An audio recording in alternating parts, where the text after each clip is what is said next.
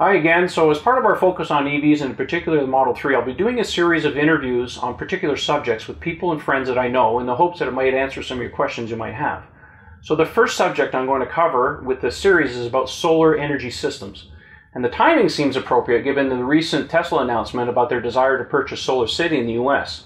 So, Tesla wants to offer an end to end solution for renewable energy generation, storage, and transportation, transportation needs with uh, solar systems the Tesla Powerwall, and of course their Powerpack, and their line of cars, the Model S, the Model X, and soon the Model 3. So as my first guest, I'd like to welcome Glen Hewlett. How you doing, Glen? Thanks for coming on the show for me today. My pleasure. So um, we'll just make this a little informal. We'll just ask you a few questions and just kind of go with that. So um, Sure. so first, I want to know you're a Model 3 reservation holder, right? Yep. That's great. A little late, later than most people. Yeah. Yeah. Yeah. When did you order? Uh, I think it was April fourth.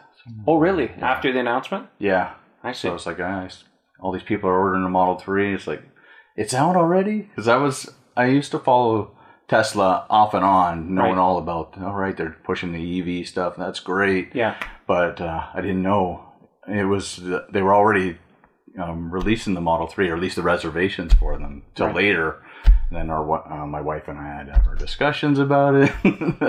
But what made you decide to order a 3? um, well, I've always loved the idea of electric vehicles. I think it's great for the environment. Of course, I'm big on the environment. It's part of the reason why we have the solar panels in the first place. Yeah. Um, um, yeah, and it's that, and it's a good timing because my old car is two years. It's definitely going to need to be replaced I anyways. And I have an older son who's probably going to use that older car, and then I'll I'll have the Tesla. Um, But you were aware of the Model S and the Model X?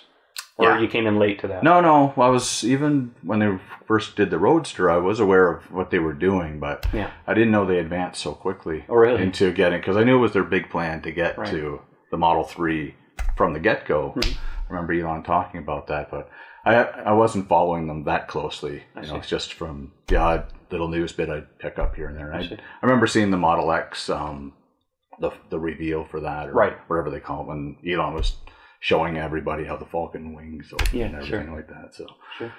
So So was there anything in particular about the Model 3 that really intrigued you? Was it just because it was smaller than a Model S, or was it the price? price, The price. big difference. Yeah, that seems yeah. to be the big thing with most people. Yeah, it's always the price. Yeah, it's the EV thing for sure. Yeah. You know, not even having to go to a gas station ever again. Yeah, I know. I know. and uh, just knowing that it's better for the environment and yeah it's the price has finally come down to Yeah. a, a realistic price for me anyway Yeah. So you feel good about the car? Oh yeah Yeah. everything i hear about it's you know great so, So considering their accelerated production plans, you think they're going to make it on time? Well, i hope so I hope so. Watching your gets- videos is giving me a little more confidence Right. because i i know from watching well a lot of tesla videos i've Yeah. been catching up on now Sure. um, you know, if they were talking about the history of the Model S being, you know, such a supercar but hard to um, manufacture. Yeah. And then, you know, Model X is even harder to, to uh, Yeah, that was To an ex- that was an exercise for sure. at least, you know, from the get go with the Model 3, they've taken into the manufacturing thing from the get go. So I'm hoping, you know, that Elon will get everything going in time. Cool. So tell us a little bit about your sol your solar panel installation. What what prompted you to uh, to to get into the solar thing? Well, again, I like the idea of uh, of something that's good for the environment again, and um, um, my wife and I we've been looking at uh, solar panels for quite a few years, and um, maybe three years ago, I got really seriously interested, and I looked at the economics of it, and it, was looking at that time. It was yeah, it was pretty good. You know, the idea was that in um, 10 or so years it would pay for itself so okay though that's not bad um, but and then I, I, re- I reached out to one solar company i can't remember what it was anymore um, but they never got back to me so it's like i put it on the back burner Right. and i didn't pursue it too much but Were there permits installed for this? Uh, uh, requirements for this? there are, are some permits Yeah. and requirements but SoulSmart they took care They of took all care of that. they it, it was an option they can you can let them do it all or you can be totally involved get all the stuff done yourself through the government and, and all the stuff but i figured nah these guys know what they're doing. They know the, their connections in Sure. the in the government and stuff because the way it works with um, in Ontario, anyways, there's um, a project where or an incentive, I guess it's called, Yes. um, where we get paid when we pr- um, produce power to the grid. So you get locked in, like we're locked in for 20 years at 39 cents per kilowatt hour right now. Okay. Um, I've heard, heard from other people who've had it for like 10 years in Ontario, and they, they've got like 70 cents per kilowatt hour. But the solar panels themselves that they bought cost a lot more back then. It's too. all relative. So yeah, it's it's it is relative. So um, so yeah, so every kilowatt hour I I produce, I'm not storing it in batteries or anything. It just goes right back out to the grid. Okay. And Soul So you're not consuming it, that. you're actually exactly. putting it into the grid. Yeah, I see. I'm sure some of it works its way back to me. Okay. So it it's beneficial in that way because I get paid 39 cents per kilowatt hour no matter what. Mm-hmm. It goes out to the grid, and when I take it back in, you know, um, it's it's going to be I can't remember how much our electricity is right now, but I think after hours between 7 p.m. and 7 a.m. in this area, especially with PowerStream, is just over 8 cents a kilowatt hour. yeah, I don't, you know, it sounds of course about it changes, And but think that's the it's- low I think it's around 14 in the middle of the day. the- yes, the high that sounds time. about right. Somewhere around that. Okay. yeah. So that's probably around when I'm producing the most, anyways, Okay. because that's uh, um, hottest part of the day. Well, most sun in the day. Yeah. So did you buy or lease the system? I bought it outright. Okay. Okay. Yeah. Can you give us a rough idea of what the system might have cost for your system? You said it was what five kilowatt or just over five kilowatt? Just over five. I think it's 5.1 kilowatts. okay. I think with taxes, the the um, squirrel guard, it was 20, 23,000, I think. Like twenty three thousand and Yeah. change. Okay. And, you And- and your payback time will be approximately what you think? They said around nine, ten years, but I've had it installed and working for about a year so far, Mhm. and the calculations I got based on that is probably going to be more like eleven years. Okay. Unless last year was just not as much sun, more clouds over. Right, because our we didn't house or have as whatever. much snow this year as we typically would. Yeah. So, you think that might have contributed to a little higher that that might be a Return. good thing that we didn't get so much snow. I don't know. climate change? Yeah. but it's going to be somewhere around there. I would say anywhere between nine to eleven years, and then it'll pay for itself. Right. So then after the, like I say, it's guaranteed for twenty years that that um, uh, thirty nine cents per kilowatt hour that I that I produce. So that's guaranteed for the next twenty years. Well, nineteen years now. right. And then after that, um, I'm not sure what I'll be doing with my solar panels. Maybe I'll get a Tesla battery hooked up to it in my garage. I'm not Right. sure. But uh, And the warranty on the system? Would it, did they warrant the whole system for a certain amount of uh, time? the solar panels themselves are warranted for 25 years, I believe. okay. The inverters, the one that turns the DC into AC power, Yeah, that's only 10 years. I see. But there's no moving parts in that, so I'm hearing good things. Like it shouldn't, it shouldn't have any problems. Right. problems. Solid anyways. state's just one of those things. Yeah. Okay, cool. So your thoughts about Tesla buying SolarCity, do you think it makes sense from a financial aspect or product aspect or both? Have you given any Is thought? it is it good that Tesla did it? Is that what you're Well, they're considering it. It's Yeah, it's, it's on the table at this point. It has to be voted upon on the uh, from the board of directors. But do you think it, it makes sense, or do you think I it's do. a distraction? Or No, well, I hope it's not a distraction, but Right. you know, Elon's already running two companies, and I think the third one, it's kind of like they're just amalgamating it into the exist. Like it's not like he's going to go and change the way they run their business. They're, they're I think it's just they're, they're tying it all together so that they have, you know, end to end solution for the electric vehicle, and then Right. they can say, hey, you're you're off the grid completely. Solar panels charging your car, so you're zero impact on the environment. So right? I think it's a really good thing for them. I see. But, but I, like I say, just hope it doesn't impact the Model Three delivery date. That's I think that's everybody's goal at this point is making sure that it doesn't affect you know the Model Three plans yeah. at this point. So it remains to be seen. You know, I mean, we still got uh, you know a few more months or at least another year at this point. You know, July first of this year coincided with the one year anniversary, the cutoff date for next year apparently for the suppliers.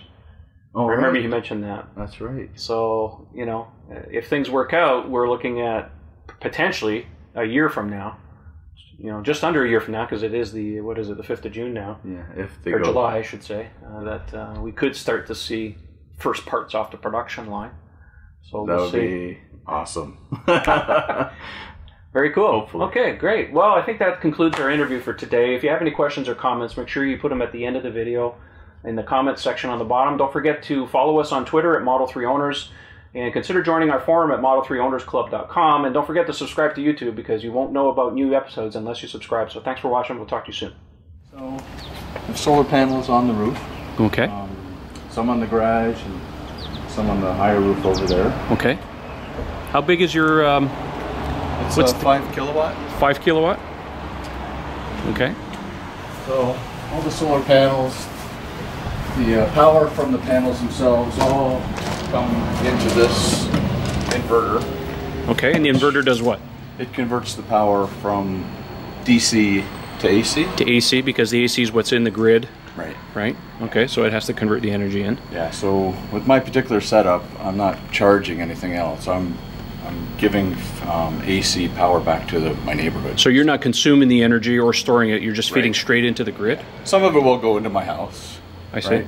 So from here we got AC Mhm. comes out through to this wire. And we have a big switch there. Okay, so it's a separate. So you have a separate meter into Yeah. the grid. So this is my meter that measures how much power I give our electric company, which is called PowerStream, Okay. and that, this way we can monitor how much I give them. And um, the way it's set up for me, I get paid from for my solar pa- um, power by PowerStream. Okay. themselves. So this is measured by PowerStream and based on how much power I give them, they give me uh, right now. Well, I'm I have a signed contract. It's 39 cents per kilowatt hour I see. that I give them for power. So Okay. um, so yeah, so this is coming into the grid here, and this is the existing power one for my house. So Correct. This measures how much I use Mhm. from from the grid. So basically, the power comes there, AC comes into the house, and then whatever I don't use goes back to the grid for the rest of the neighborhood. Any kind of snow buildup or anything like that? That's been a problem. Well, this this because obviously it's not a problem. Awesome. We didn't have much. Well, I know we didn't. So Right. Um, Because well- that's a question I'm sure the viewers will have. Yeah. is- the higher roof there is on a very Yes, steep I see it's a very steep pitch So there. that I'm sure didn't have any problems. But when I was looking out my window there, I could see some snow was built up the odd day on the garage um, solar. But they're not heated in any way to prevent the snow buildup. It's just natural No, gravity takes care of it. yeah. I see. But you know, you could get out there and clean it if you wanted, if it built up enough. But you know, it wasn't bad this year at all, anyways. Hmm. But I don't think it'd be a problem. And uh, actually, with the snow on it, you still get um, some power. I see. So it's it doesn't block off the uh, UV rays from the sun. Well, photons are photons, right? It's just the intensity. yeah. So there's a shot of some of the panels on the roof.